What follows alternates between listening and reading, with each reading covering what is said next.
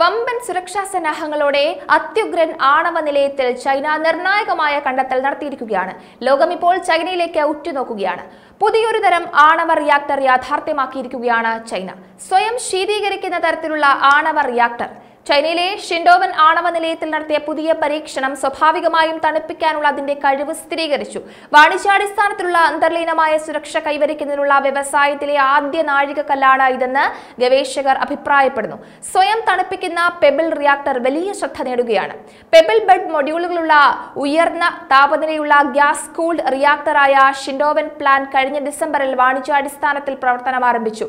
ഷിഡോവന്റെ ഇരട്ട നൂറ് മെഗാവാട്ട് യൂണിറ്റുകളിൽ ബില്യാർഡ് ബോളുകളുടെ പെബിൾസ് എന്ന് വിളിക്കപ്പെടുന്ന ഗ്രാഫൈറ്റ് ഷെല്ലുകളിൽ പൊതിഞ്ഞ ചെറിയ യുറേനിയം ക്യാപ്സൂളുകളുണ്ട് ഇത് ഇന്ധന ദണ്ടുകളുള്ള ഒരു പരമ്പരാഗത ആണവ റിയാക്ടറിൽ ഉള്ളതിനേക്കാൾ ഇന്ധനത്തിന്റെ ഊർജ സാന്ദ്രത വളരെ കുറവാണ്.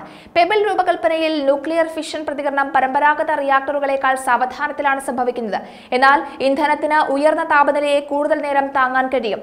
കൂടാതെ ഫിഷൻ പ്രതികരണത്തിന്റെ ഫലമായി ഉണ്ടാകുന്ന താപം ചിതറിക്കിടക്കുകയും നിഷ്ക്രിയ തണുപ്പിക്കൽ പ്രക്രിയ സാധ്യമാക്കുകയും ചെയ്യുന്നു. തണുപ്പിക്കൽ പ്രക്രിയയിൽ റിയാക്ടർ വലിയ അളവിലുള്ള ജലത്തെ ആശ്രയിക്കുന്നില്ല. പകരം വെള്ളത്തെക്കാൾ ഉയർന്ന താപനിലയെ ചേർക്കാൻ കഴിയുന്ന ചെറിയ അളവിലുള്ള ഹീലിയം വാതകം സ്വാഭാവികമായും തണുപ്പിക്കുന്നതിനായി സിസ്റ്റത്തിലൂടെ പൈപ്പ് ചെയ്യപ്പെടുന്നു.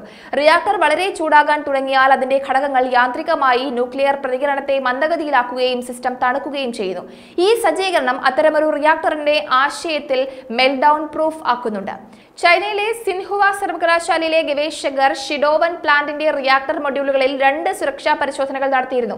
ക്ഷയിക്കുന്ന ചൂട് നിഷ്ക്രിയമായി നീക്കം ചെയ്യാൻ കഴിയുമോ എന്നറിയാൻ സജീവമായ വൈദ്യുതി വിതരണം നടത്തി. ഓരോ യൂണിറ്റിലെയും താപനിലയുടെയും ആണവോർജത്തിന്റെയും പ്രതികരണങ്ങൾ സജീവമായ ഇടപെടലില്ലാതെ സ്വാഭാവികമായി തണുപ്പിക്കാൻ കഴിയുമെന്ന് സ്ഥിരീകരിച്ചു. ടെസ്റ്റുകളുടെ ഫലങ്ങൾ ആദ്യമായി വാണിജ്യപരമായ അന്തർലീനമായ സുരക്ഷയുടെ അസ്തിത്വം പ്രകടമാക്കുന്നുമുണ്ട്. അത്തരത്തിൽ റിപ്പോർട്ടുകൾ വ്യാപകമാകുന്നുണ്ട്. ഷിഡോവൻ പ്രൊജക്ട് ഗവേഷണത്തിനും വികസനത്തിനും പ്രധാന ഘടകങ്ങളുടെയും സിസ്റ്റങ്ങളുടെ രൂപകൽപ്പനയുടെയും ഉത്തരവാദിത്തമുള്ള ഒന്നാണ്. ചൈന നാഷണൽ ന്യൂക്ലിയർ കോർപ്പറേഷൻ സംഭരണം ഇന്ധന നിർമ്മാണം എഞ്ചിനീയറിംഗ് എന്നിവയുടെയൊക്കെ മേൽനോട്ടം വഹിക്കുന്നുണ്ട്. മറ്റ് പെബിൾ ബെഡുകൾ പരിശോധിക്കുകയാണ് എങ്കിൽ പെബിൾ ബെഡ് സാങ്കേതിക വിദ്യയും രൂപകൽപ്പനയും മുമ്പ് ചൈനയിലെയും ജർമ്മനിയിലെയും പ്രോട്ടോടൈപ്പ് റിയാക്ടറുകളിൽ ഉപയോഗിച്ചിരുന്നു. എന്നാൽ ഷിഡോവൻ പോലെയുള്ള വലിയ തോതിലുള്ള പ്ലാന്റ് അല്ല. യു എസിൽ എക്സ് എനർജി അതിന്റെ pebble ഇന്ധനമുള്ള X E one zero zero design വിന്യസിക്കാൻ ശ്രമിക്കുന്നുണ്ട്. എൺപത് മെഗാവാട്ട് ഈ ഉയർന്ന താപനിലയുള്ള ഗ്യാസ് കൂൾഡ് റിയാക്ടർ അത് മുന്നൂറ്റി ഇരുപത് മെഗാവാട്ട് ഈ പവർ പ്ലാന്റ് നിർമ്മിക്കാൻ നാല് പാക്കായി മാറ്റാൻ കഴിയും. എക്സ് എനർജിയുടെ ലൈസൻസ് അഭ്യർത്ഥന ന്യൂക്ലിയർ റെഗുലേറ്ററി കമ്മീഷന്റെ അവലോകനത്തിലുമാണ്. രണ്ടായിരത്തി ഇരുപതിൽ ഊർജ വകുപ്പിന്റെ അഡ്വാൻസ് റിയാക്ടർ ഡെമോൺസ്ട്രേഷൻ പ്രോഗ്രാമിനായി തെരഞ്ഞെടുത്ത രണ്ടിലൊന്നാണ് എക്സ് എനർജി പ്രാരംഭ ഫണ്ടിംഗിൽ നൂറ്റി മില്യൺ ഏഴ് വർഷത്തിനുള്ളിൽ രണ്ട് അഡ്വാൻസ് റിയാക്ടറുകൾ വാണിജ്യ പ്രവർത്തനത്തിലേക്ക് കൊണ്ടുവരാൻ എ ആർ ഡി പി തയ്യാറായി. ടെക്സസിലെ സി ഡ്രിഫ്റ്റിലുള്ള കെമിക്കൽ കമ്പനിയുടെ പ്ലാന്റിൽ എക്സ് എനർജിയുടെ ആദ്യത്തെ X E one zero zero plant വികസിപ്പിക്കുന്നതിന് ഒരു സംയുക്ത വികസന കരാറുമുണ്ട്.